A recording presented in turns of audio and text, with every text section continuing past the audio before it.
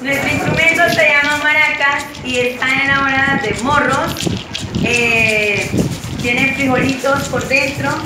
Eh, encontramos por ahí unos palillos secos y nada más hemos colocado acá una, un bañito de pintura. Suena de esta manera.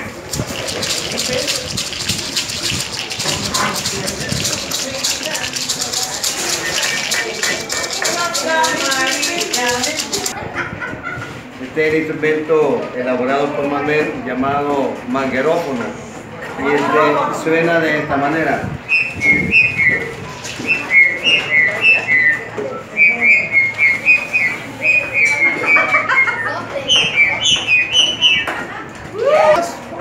El guirocito está construido con un bote de algo para una moto y un tubo de papel de, de aluminio y este remorro con una ramita de tubilote eh, se llama maracasita, porcecita y la con la con, con la congasita que es un bote con chapas y suenan así.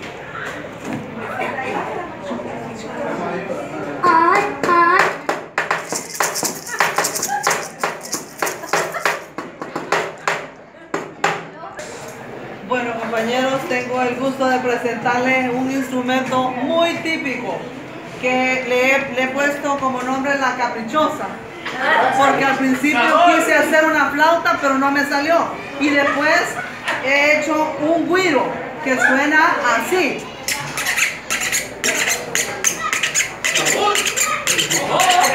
Por eso le puse la caprichosa porque estaba de rebelde. Porque salió, he creado esta maraca que se llama la que se mueve, porque el cuerpo debe de moverlo para que agarre un buen ritmo. Gracias.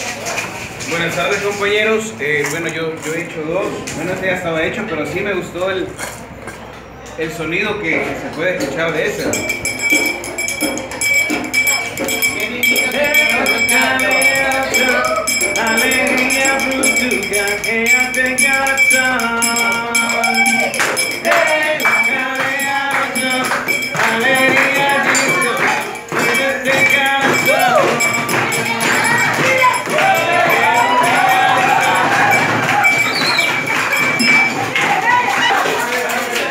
La maraca, ¿verdad? Que, también acompaña mucho y que han hecho es una, una maraquita también. Así que eso ha sido mi instrumento. Yo hice una maraca de una tapadera y unos ganchos de, de las cortinas de baño. También hice un chacaleque, pero la verdad que no sabía el nombre. Lo hice con unos audífonos arruinados y una bocina arruinada también. Solo recuperé lo bonito. Y hice el de lluvia que sí me sonó.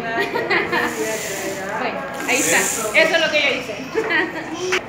Buenas tardes compañeros, Eh, mi instrumento es una mara- este, maraca rolliza, está hecha de un bote de café listo y con arroz adentro y suena de esta forma.